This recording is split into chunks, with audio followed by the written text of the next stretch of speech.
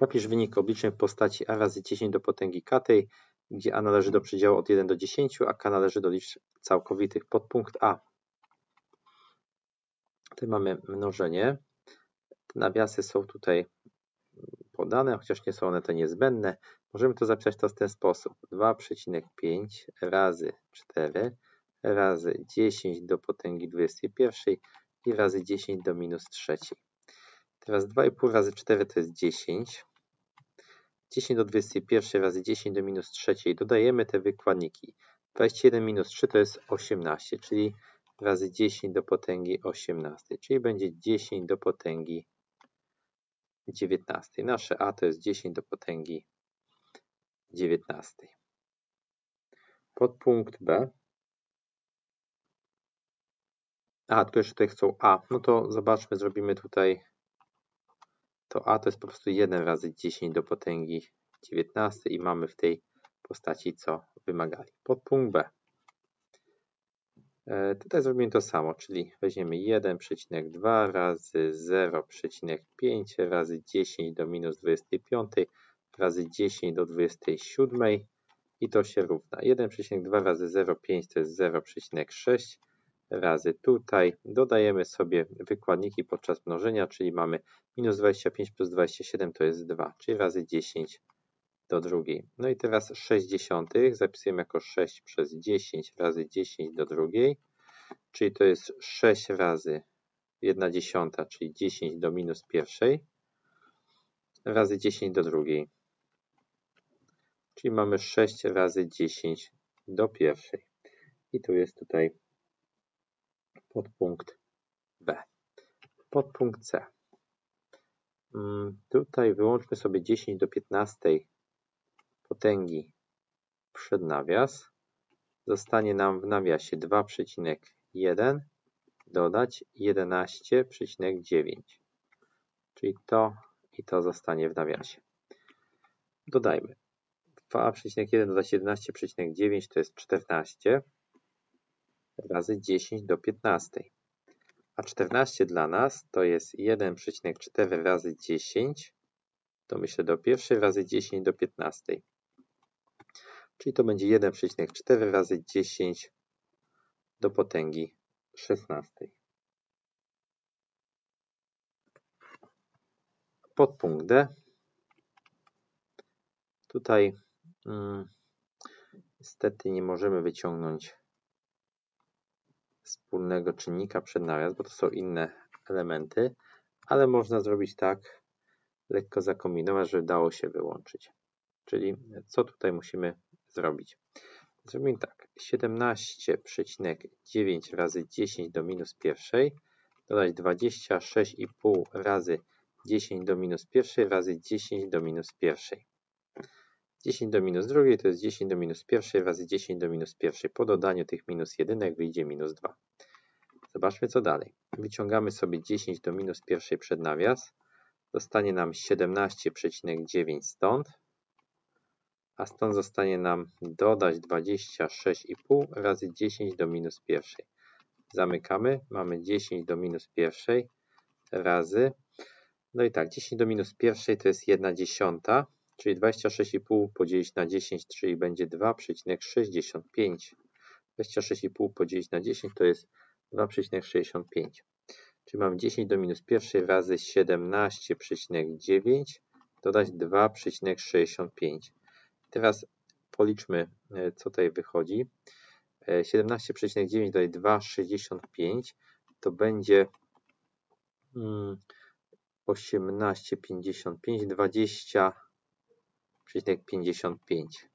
To się równa 10 do minus pierwszej razy 20,55 to jest 2,055 razy 10. No i teraz tutaj jest do potęgi pierwszej w domyśle, czyli mamy 2,055 razy 10 do potęgi zerowej. I tak to już zostawmy. Podpunkt E. Mm, tutaj z 10 do minus trzeciej zrobimy, że to jest 10 do minus drugiej razy 10 do minus pierwszej. I wówczas wyciągniemy 10 do minus drugiej przed nawias.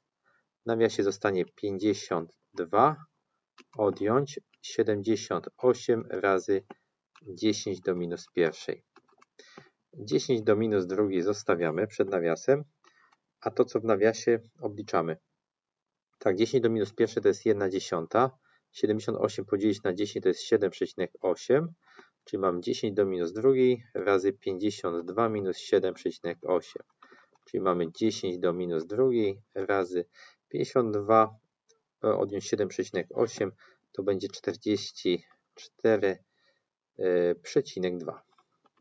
Teraz 44,2 rozpiszemy. To będzie 10 razy 4,42. 10 w domyśle do pierwszej, czyli mamy 10 e, do minus drugiej razy 10 do pierwszej to jest 10 do minus pierwszej, czyli 4,42 razy 10 do minus pierwszej. No i to będzie tutaj odpowiedź. Podpunkt F. Mm, tutaj z 10 do minus 5 zrobimy 10 do minus 3 razy 10 do minus 2. Minus 3 dodać minus 2 daje minus 5. I wówczas wyciągamy 10 do minus 3 przed nawias. Zostanie 2,5 odjąć 35 razy 10 do minus 2. Zamykamy, czyli 10 do minus 3 razy. E, I teraz tak, 10 do minus 2 to jest 1 setna. To jest 1 setna, czyli 35 razy 1 setna to jest 35 setnych, czyli będzie 2,5 odjąć 35 setnych, czyli 10 do minus 3 razy 2,50 mm, setnych, bo to jest 2,5, odjąć 35 setnych, czyli to jest 10 do minus 3 razy 2 do potęgi 15 setnych. E, I w zasadzie możemy tak to zostawić, tylko w kolejności 2,15, czyli 2,15 setnych razy 10 do minus 3. I mamy taką tutaj odpowiedź. Podpunkt G. Podpunkcie G zobaczmy.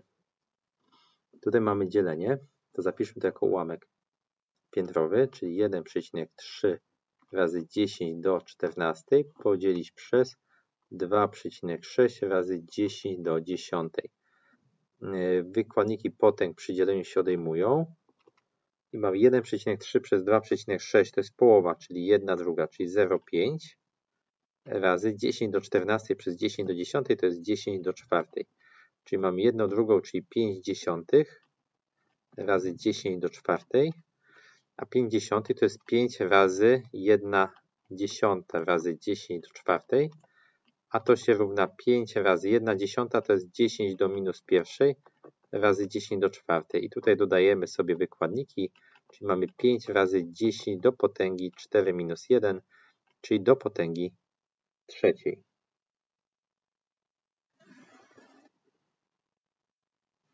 Podpunkt H.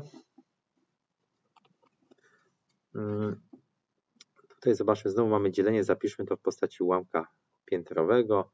2,4 razy 10 do minus 37 podzielić przez, y, tym mamy 6 setnych, 0,06 razy 10 do minus 32. I teraz można sobie na kalkulatorze policzyć 2,4 przez 6 setnych albo policzyć to w ten sposób. 24 dziesiąte podzielić przez 6 setnych i zobacz, to będzie 24 dziesiąte razy odwrotność, czyli 100 szóstych. Szóstka z 24 się skraca, to zostaje 4 tu 1. Dziesiątka z setką się skraca, 100 e, podzielić na 10 to jest 10, czyli byśmy mieli 40 pierwszych, czyli po prostu 40. To możemy zapisać tutaj od razu 40, no bo z tego otrzymamy 40, a 10 do minus 37 podzielić przez 10 do minus 32 odejmujemy wykładniki, czyli mamy 10 do potęgi minus 37 minus minus 32, czyli 40, a 40 to jest 4 razy 10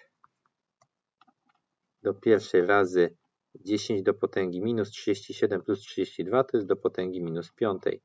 Mamy 4 razy, tutaj dodajemy wykładniki, 10 do potęgi minus 4. I to jest całe zadanie.